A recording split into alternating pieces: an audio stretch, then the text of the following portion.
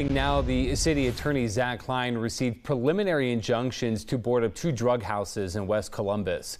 The Hilltop House is located at 451 Josephine Avenue. Police received multiple complaints from this location for threats of violence, drug activity, gunfire, and a stolen vehicle on property. The other home is at 112 South Cypress Avenue in Franklinton.